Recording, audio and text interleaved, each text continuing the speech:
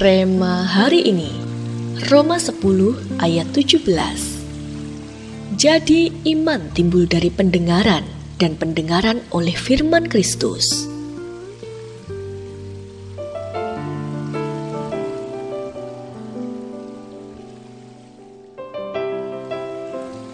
Di era keterbukaan informasi seperti sekarang ini, media sosial memiliki peran terbesar untuk kita bisa menerima berbagai informasi dengan mudah. Begitupun sebaliknya, kita bisa dengan mudah pula mengemukakan pendapat kita. Tentu banyak hal positif yang bisa kita ambil, namun ada banyak pula sisi negatif yang menyertainya. Seperti munculnya berita palsu atau hoax dan perundungan atau bullying melalui media sosial.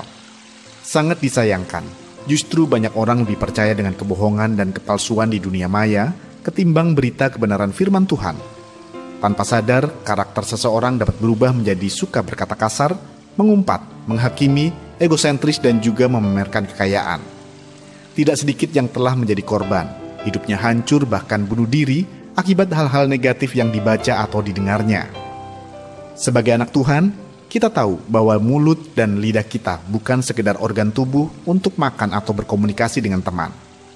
Mulut dan lidah kita punya kuasa dan dampak yang lebih besar daripada itu.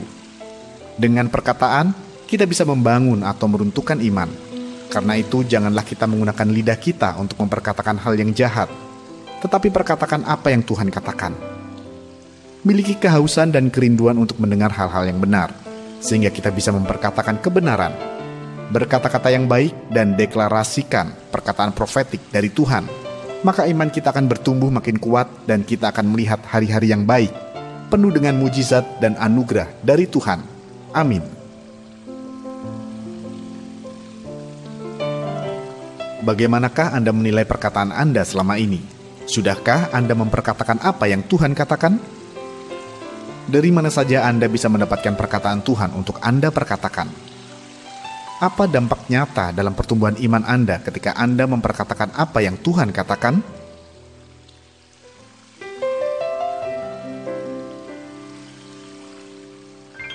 Tuhan Yesus, kami bersyukur atas rema yang kau berikan bagi kami agar kami senantiasa memperkatakan apa yang Engkau katakan dan iman kami bertumbuh semakin kuat dalam kebenaran firman. Di dalam nama Tuhan Yesus kami berdoa. Amin. Perkatakan apa yang Tuhan katakan agar iman kita bertumbuh makin kuat.